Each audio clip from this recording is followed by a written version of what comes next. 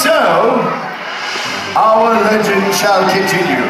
You have been a most magnificent audience this evening, and I, Sir Rogelio de Zaragoza, wish to thank you all deeply.